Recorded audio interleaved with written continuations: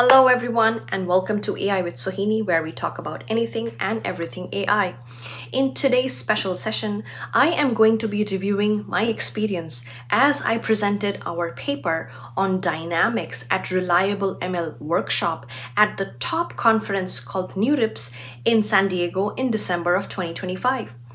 The whole theme around the conference was around agentic AI. That means how personalized shopping or personalized marketing, personalized sale, or personalized anything is revolving around in the industry.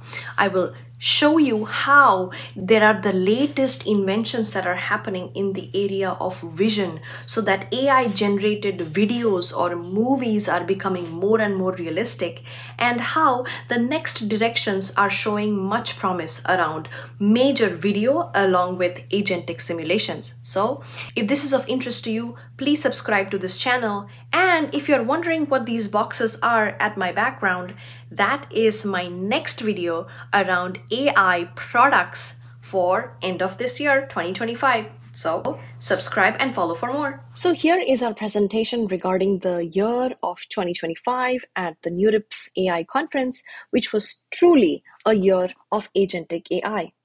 So first off, I'm going to review all of the different agentic products that were visible on the exhibition floors, all of the different shops um, that were treating the, the visitors around what their latest and greatest products are uh, with regards to AI, the different workshop topics that I personally attended, and the different frontiers of video and imaging uh, that I was able to attend, and some of the future directions that I foresee for 2026.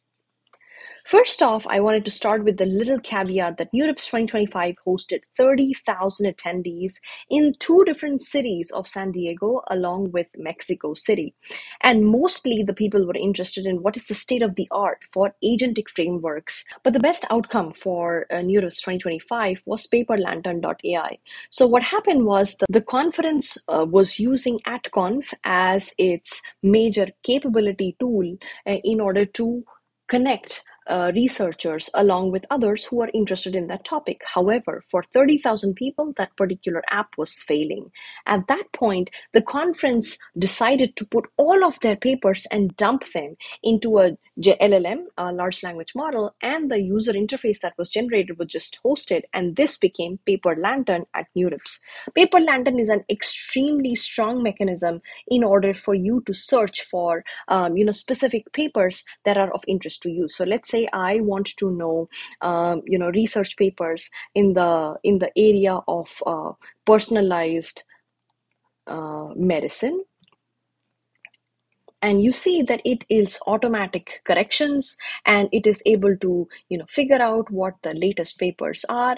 Uh, and the the major uh, advantage of the system was it was extremely user friendly along with it was uh, able to synchronize itself at a mobile phone. So as you can see this was an extremely strong tool uh, that you could use in order to find out some of the latest and greatest research in your area of interest this product was launched in less than two hours. It is very easy to come up with user interfaces and to host very strong, uh, you know, search tools that are capable of searching a huge plethora of research papers. So at this conference, I was personally presenting our paper called Dynamix. Dynamix is a core machine learning model, and what it really does is it is it uses the user's attention. So let's say that you are on a particular uh, platform and you are searching or scrolling through a, a whole plethora of feeds. Uh, let's say you are on Pinterest and you are looking at a lot of different um, you know kinds of, of pages.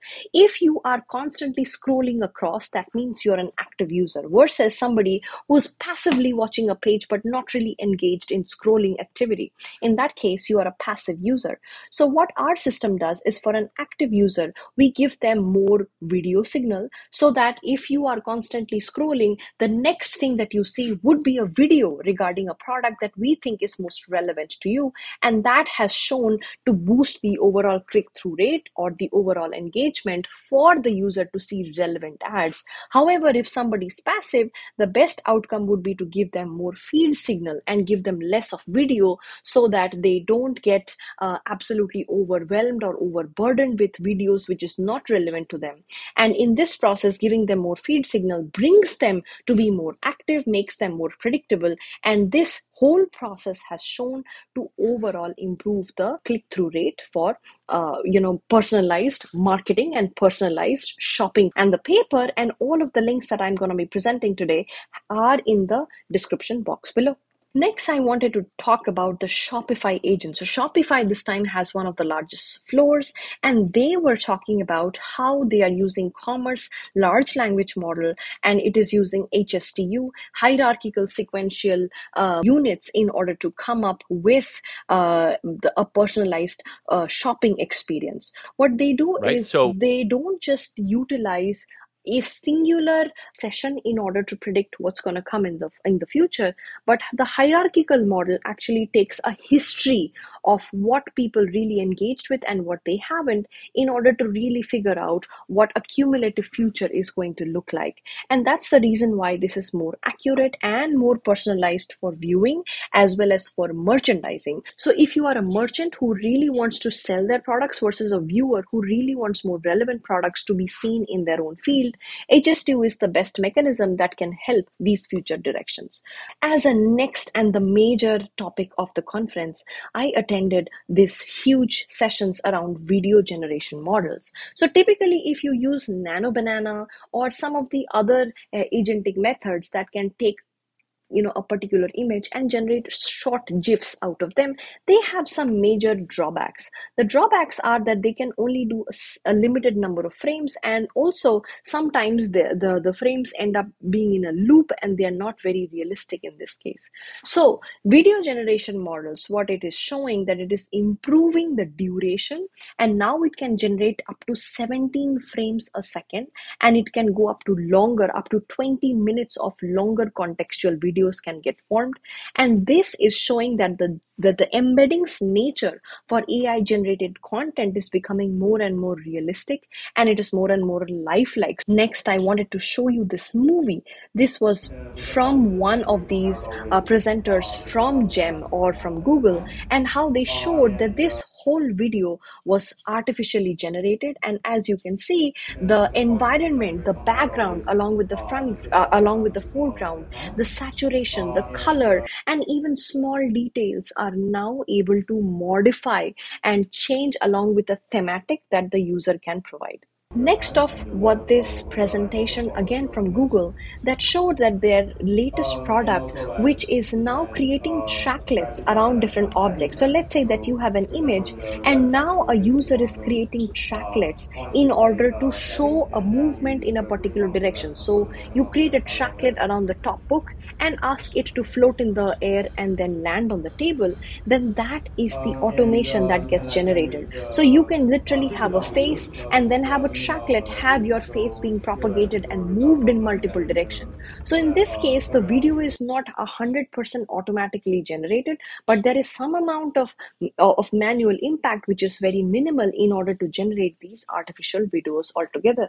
Next, I wanted to point out at some of the papers that are extremely key in order to also identify fake images from realistic images. So in this particular paper by the Princeton University, what they did was they, t- they took a lot of images that were actually realistic as well as they were fake images. And then they used boxes in order for the users to annotate if it looked realistic versus if something that looked fake. As you can see here, the dog's foot looks fake, uh, but the head actually looks uh, looks accurate. So by this way, uh, there was a lot lot of labels that got generated as to which part of the image looks realistic as to which part that looks fake. And here the outcome was if you have an image that can be explained in natural language, then that is the easiest to point out if it's a real versus a fake. The next paper that was of importance was called Petri net structure. And here the, the major idea was to use domain specific prompts and, and semantics to better inform a generative model in order to do video generation. So here the synthetic frame generation used the Petri structure Petri net structure in order to generate the synthetic frames, um, in order to represent the key process and the transitions that are required from one scene to the other in order to keep it as realistic as possible. So this improves the temporal coherence enhances the semantic fidelity and it keeps things real as long as the videos or the images uh, that it is analyzing is indoor images because it just shows that these Petri net structures are able to fuse multiple different dimensionality of indoor videos in order to generate very realistic um, you know videos for indoor situations finally i wanted to talk through some directions for 2026 where i believe two major areas are going to come up.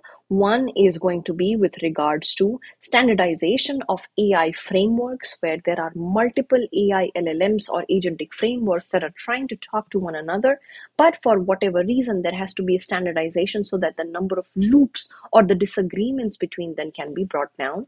And secondly, I really believe in 2026, we are going to see a huge push towards prompt to video generation and them being as accurate as possible, as realistic and as accurate as possible but with some manual intervention. It's not going to be fully prompt generated, but with some manual interventions in order to ensure that the videos are realistic because manual intervention is the only way to make sure your final outcomes are real and not just a fake plethora of an infinite simulation, which is not feasible at all.